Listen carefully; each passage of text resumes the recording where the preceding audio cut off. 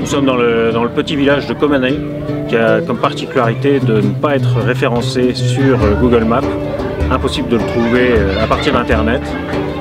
Pour le découvrir, il faut venir avec les volontaires des SOS Chrétiens d'Orient et découvrir ce petit village de montagne qui est dans le district d'Amédi et dans la province de Douok. Euh, voilà, une dizaine de, kilomètres d'Amédi.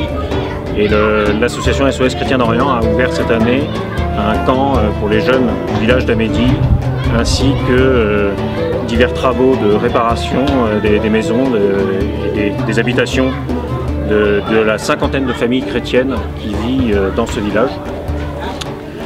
Parmi ces travaux, nous avons notamment la construction d'une chambre supplémentaire pour une famille de neuf enfants qui vivait dans deux pièces et qui n'avait pas, les moyens d'étendre sa maison. Donc, grâce à l'association SOS et même à l'aide des, villageois, nous avons pu construire une pièce supplémentaire. Nous avons pu également rentrer dans, le, dans, les familles et découvrir que beaucoup de murs étaient fissurés, ce qui en été euh, ne pose pas de problème si ce n'est visuel, mais en été de graves problèmes pour le froid, puisque c'est une région qui est très très froide en hiver.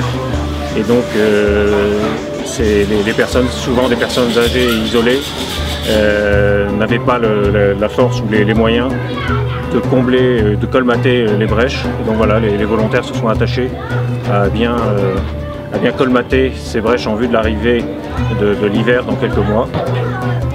Il reste encore beaucoup de travail à faire à Komané. Euh,